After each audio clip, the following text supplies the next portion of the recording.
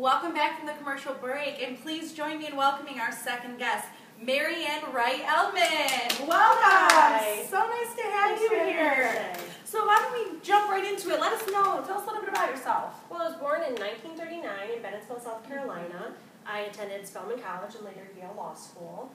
I started working with Dr. Martin Luther King. Uh, we advocated for poor families that were sharecropping and had little to no food.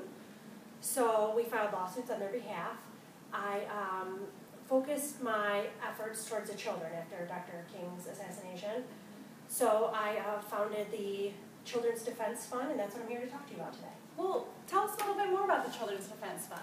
Well, it's an advocacy and research foundation for disabled youth and um, minorities, uh, disabled, disadvantaged youth. And we advocate uh, pre- pregnancy prevention and prenatal care for those that we missed with the pregnancy prevention, and child care funding, and a lot more.